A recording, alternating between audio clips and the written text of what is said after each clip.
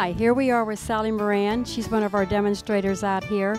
She does beautiful, beautiful work. Uh, she also sells the pieces if you're interested, or if you have a chair that needs redone, you can bring it to Sally and she will take care of that.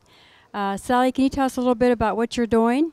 I'm doing hand cane. This is uh, dates back to 1100 in China, and it's seven-step hand caning. It's done with natural strand cane. It's the bark from the rattan vine. It grows in the rainforest. It's a runner that grows around the base of the tree. It's basically a weed, so it's not endangering the rainforest that's our, such a concern right now.